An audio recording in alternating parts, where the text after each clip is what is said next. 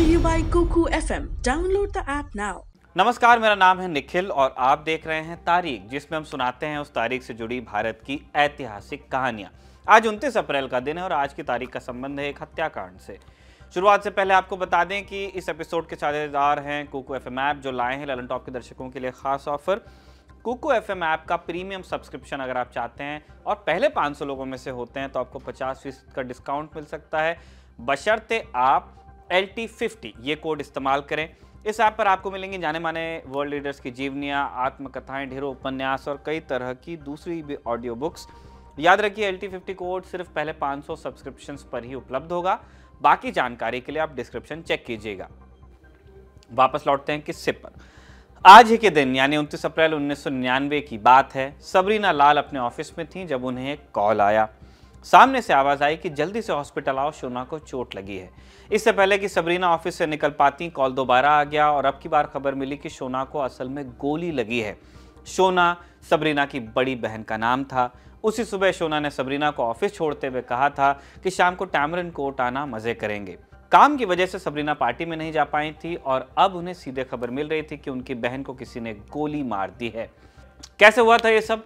महरौली की कुतुब कोलोनेट हवेली के अंदर एक रेस्टोरेंट हुआ करता था टैमरिन कोर्ट दिल्ली की हाई क्लास सोसाइटी में पहचान रखने वाली बीना रमानी इस रेस्टोरेंट की मालिक होती थी। वो और उनके पति जॉर्ज मेलहार्ट साथ मिलकर रेस्टोरेंट चलाते थे। उनकी एक बेटी भी थी मालिनी रमानी, जो मॉडलिंग में अपनी किस्मत आजमा रही थी। उनतीस अप्रैल, बृहस्पतिवार था। बीना के पति जॉर्ज कनाडा जा रहे थे और इसी के चलते रेस्टोरेंट में एक फेयरवेल पार्टी भी रखी गई थी। चूँकि पार्टी में हाई क्लास लोगों को बुलाया गया था, इसीलिए केटरिंग के लिए भी खास व्यवस्था की गई थी। मालिनी ने अपनी दोस्त जेसिका लाल को इस पार्टी में बार टेंडिंग करने का ऑफ़र पेश किया था और जेसिका भी राज़ी हो गई। रात के 12 बजे जब पार्टी खत्म होने की ओर थी टैमरन कोर्ट में एक शख्स दाखिल होता है, अपने तीन दोस्तों के साथ। इस शख्स का नाम था सिद्धार्थ वशिष्ठ उर्फ़ मनु शर्मा। मनु शर्मा हरियाणा के कद्दावर कांग्रेस नेता विनोद शर्मा का बेटा था। उसके साथ विकास यादव था। विकास यादव, यूपी के बाहुबली नेता डीपी यादव का बेटा था। इन दोनों के अलावा दो और लोग भी पार्टी में आए थे, अमरदेव गिल और आलोक खन्ना।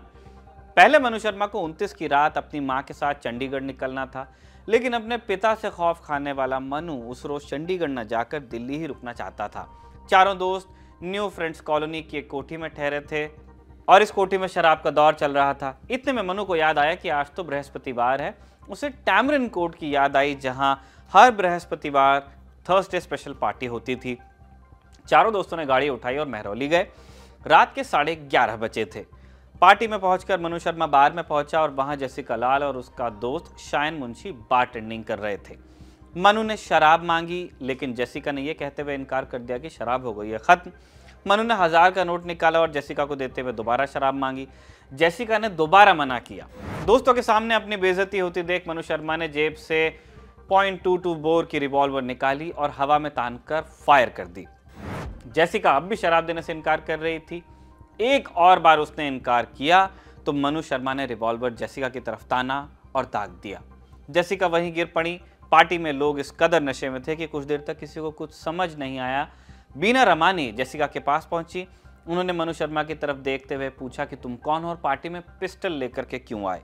मनु शर्मा ने कहा कि मैंने गोली नहीं चलाई और वो अपने तीन दोस्तों के साथ वहाँ से हो गया रफू चक्कर। जेसिका को इसके बाद अस्पताल ले जाया गया, लेकिन वहाँ पहुँचने से पहले ही उनकी मौत हो गई। उधर मनु पार्टी से निकला और उसने एक जगह जाकर अपने पिस्तौल ज़मीन में गाड़ दी। इसके बाद चारों दोस्त विकास यादव के गाजियाबाद वाले बंगले में गए और रात भर वहीं ठहरे। मनु शर्मा ने अपने एक दोस्त मनु झिंगन से कहा कि वो छुपाई हुई पिस्तौल निकाले और उसे डिस्ट्रॉय कर दे। इसके बाद मनु शर्मा और विकास यादव दोनों वहाँ से फरार हो गए। पुलिस में केस पहुँचा। चार मई को पुलिस ने सबसे पहले अमरदीप सिंह गिल को गिरफ़्तार किया। इसके बाद 8 मई को बीना रमानी और उनके पति को भी गिरफ़्तार किया गया। बीना रमानी के ऊपर इल्ज़ाम था कि वो बिना लाइसेंस के पार्टी में शराब सर्व कर रही थी और जिस पार्टी को वो प्राइवेट पार्टी बता रही थी, वो असल में एक बहाना था। पार्टी में कोई भी आ सकता था, शर्त सिर्फ़ इतनी थी कि वो दिल्ली की हाई क्लास सोसाइटी से ताल्लुक रखता हो। बीना रमानी के ऊपर एक इल्ज़ाम ये भी था कि उन्होंने जेसिका के खून के निशान साफ़ करवाए, जिसके चलते उन पर सबूत नष्ट करने का आरोप लगा। इसके बावजूद बीना और उनके पति को इस मामले में जमानत मिली। पिस्तौल को नष्ट करने वाला अमित झिंगन भी पुलिस के हाथ लग चुका था, लेकिन अब भी मुख्य आरोपी पुलिस के पहुँच से बाहर थे। 29 मई की तारीख थी जब विकास यादव दिल्ली पुलिस के पास पहुँचा। तब पता चला कि इस दौरान वो मिजोरम जाकर वहाँ के कोर्ट से अंतरिम जमानत लेकर आया था। मनु शर्मा को भी इस बीच गिरफ़्तार कर लिया गया था। हाई प्रोफ़ाइल केस था जिसकी खबर सारी दुनिया को लग चुकी थी। पार्टी में उस दिन बहुत से लोग मौजूद थे, जिनमें से कई ने उस दिन मनु शर्मा को वहाँ देखा था। इसीलिए केस जब कोर्ट में गया तो सबको लगा कि ओपन एंड शट केस है। तीन अगस्त को पुलिस इस मामले में अपनी चार्जशीट दाखिल करती है। छह साल मुकदमा चलने के बाद 21 फरवरी 2006 को इस केस में अदालत का फैसला आता है। सभी लोगों को रिहा कर दिया गया था और अगले दिन टाइम्स ऑफ़ इंडिया अखबार में एक खबर छपती है, जिसका टाइटल, जिसकी हेडिंग होती है, no one killed Jessica. Open and shut case होने के बावजूद कोर्ट ने आरोपियों को रिहा क्यों कर दिया था? इसका कारण समझना ज़रूरी है। इसका कारण था पुलिस, सत्ता और पैसे का गठजोड़। मनु शर्मा की गिरफ्तारी के कुछ रोज बाद विनोद शर्मा, जैसिका की बहन सबरीना के घर पहुँचते हैं और उन्हें एक गुलदस्ता देते हुए सांत्वना ज़ाहिर करते हैं। पर्दे के पीछे एक अलग ही खेल चल रहा था। उस दिन रेस्टोरेंट में सौ के आसपास लोग थे। इनमें से कई ने शुरुआती बयान में मनु शर्मा का नाम लिया था। लेकिन जब मामला कोर्ट पहुँचा तो एक के बाद एक गवाह हॉस्टल होते गए, मुकरते गए। सबरीना बताती हैं कि खुद बीना रमानी ने उनसे कहा था कि ये रसूख वाले लोग हैं, इनसे पंगा मत लो। तीन मई 2001 को इस मामले में सबसे महत्वपूर्ण गवाही हुई शान मुंशी की। मुंशी ने पुलिस को दिए लिखित बयान में साफ़ साफ़ लिखा था कि मनु शर्मा ने ही जैसिका को गोली मारी है। लेकिन जब कोर्ट में बयान देने की बारी आई तो उसने एक नई कहानी बुन दी। उसने बताया कि उस दिन रेस्टोरेंट में दो पिस्तौलों से गोली चली थी। पहली बार मनु शर्मा ने छत की तरफ़ बंदूक उठाकर गोली चलाई और दूसरी गोली चलाने वाला शख्स कोई और था और उसी गोली से जैसिका की मृत्यु हुई थी। इतना ही नहीं, उसने गोली चलाने वाले दूसरे आदमी का हुलिया भी बताया। जब पुलिस को दिए लिखित बयान के बारे में पूछा गया तो उसने कह दिया कि उसे तो हिंदी में लिखना नहीं आता। उसने कहा कि लिखित बयान पुलिस ने बनाया था और उससे हस्ताक्षर करवा लिए गए थे। पुलिस को कभी जुर्म का हथियार नहीं मिल पाया। कोई गवाह भी नहीं था। ऐसे में एकमात्र सबूत जो बचा था वो था, वो थे गोली के खोखे जो उस दिन रेस्टोरेंट से बरामद हुए थे। फोरेंसिक टेस्टिंग में सामने आया कि दोनों खोखे अलग अलग बंदूकों के थे। कोर्ट के पास इन लोगों को रिहा करने के अलावा कोई ऑप्शन नहीं था। कोर्ट ने अपने फैसले में इस बात का भी ज़िक्र किया था कि कैसे पुलिस ने इस मामले में मुजरिम को बचाने की कोशिश की थी। तब दिल्ली पुलिस कमिश्नर को मीडिया में इस बात की सफ़ाई भी देनी पड़ी थी। लेकिन इतने से कुछ नहीं होना था। भारत में हर कोई जानता था कि बड़े बाप का बेटा होने का मतलब है, आपको चालान देने की ज़रूरत नहीं और भी कई नियम कानून आपके लिए लागू नहीं होते। लेकिन सरेआम हत्या कर बचकर निकल जाना, इस बात ने लोगों के अंदर भरे गुस्से को भड़का दिया। सारे देश में विरोध प्रदर्शन हुए, कैंडल मार्च निकाले गए। इस बीच सबरीना की माँ कैंसर से इस दुनिया को छोड़ चुकी थी और उनके पिता को चार बार स्ट्रोक आ चुका था। कुछ वक्त बाद उनकी भी मृत्यु हो गई। सबरीना कहती हैं, मनु शर्मा ने सिर्फ़ मेरी बहन की हत्या नहीं की, उसने मेरे पूरे परिवार को मुझसे छीन लिया। मीडिया ने इस केस में एक बड़ा रोल अदा किया। तब करता था, तहलका मैगजीन ने एक स्टिंग ऑपरेशन किया। स्टिंग में शान मुंशी के पास एक पत्रकार फ़िल्म इंडस्ट्री से जुड़ा आदमी बनकर पहुँच गया। और एक फ़िल्म के रोल के सिलसिले में बात करने लगा। बातों बातों में पत्रकार ने कहा कि लेकिन ये हिंदी फ़िल्म है और आपको हिंदी आती नहीं, कैसे करेंगे? तब शो ऑफ़ करने के लिए शाइन ने हिंदी फ़िल्मों के धारा प्रवाह डायलॉग सुनाए।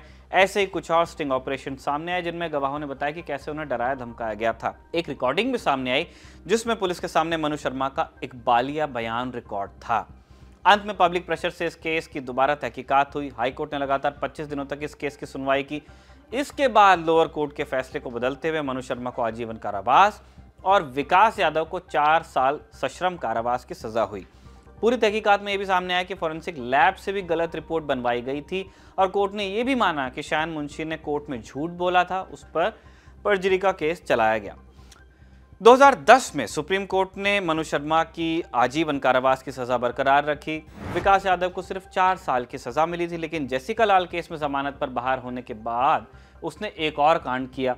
17 फरवरी 2002 की बात है। बुलंदशहर में पुलिस को एक व्यक्ति की लाश मिली। हत्या कर शव को जलाने की कोशिश की गई थी। बाद में पता चला कि नीतीश कटारा की लाश थी और हत्या करने वाला था विकास यादव और उसका चचेरा भाई विशाल यादव। हत्या का कारण था नीतीश कटारा और विकास की बहन भारती यादव की दोस्ती। परिवार की इज़्ज़त के नाम पर नीतीश की हत्या कर दी गई थी। 16 फरवरी की रात विकास और विशाल नीतीश से पार्टी में मिले, शादी की पार्टी थी और उसे अपने साथ एक एसयू में बिठाकर ले गए। इसके बाद दोनों ने नीतीश की हत्या कर शव को आग लगा दी। इस मामले में भी जेसिका केस की कहानी दोहराई गई। कुल चार गवाह थे जिन्होंने घटना की रात नीतीश को विकास और विशाल के साथ जाते देखा था। इनमें से तीन ने एन मौके पर गवाही देने से मना कर दिया और एक कोर्ट में अपने बयान से मुकर गया। इस केस में भी इंसाफ के लिए सालों लग गए। साल 2015 में हाईकोर्ट ने विकास यादव को नीतीश कुमार की हत्या का दोषी मानते हुए आजीवन कारावास की सजा सुना दी। साल 2020 में मनु शर्मा को अच्छे बर्ताव के चलते जेल से रिहाई मिल गई। अपनी बहन के लिए सालों लड़ाई लड़ने वाली जैसिका की बहन सबरीना ने भी उसे माफ़ करते हुए कहा कि मैं ईसाई हूँ और माफ़ करने में यकीन रखती हूँ। मेरी माँ ने मनु को उन्नीस सौ निन्यानवे में ही माफ़ कर दिया होता अगर उसने खुद माफ़ी मांग ली होती। मैंने अपनी बहन और माँ बाप को खो दिया। हमारी ज़िंदगी में एक वक्त वो भी आता है जब हमें कुछ चीज़ों को पीछे छोड़ देना होता है। मैं विक्टिम वेलफेयर बोर्ड की ओर से मिलने वाले पैसे भी नहीं लेना चाहती। इन्हें किसी ज़रूरतमंद को दे देना चाहिए। 2021 में सबरीना की भी मृत्यु हो गई लिवर फेलियर से। तारीख के इस एपिसोड को लिखा था हमारे साथी कमल ने और कैमरे पर रिकॉर्ड किया था हमारे दोस्त जतिन ने। देखते रहिए दिल टॉप।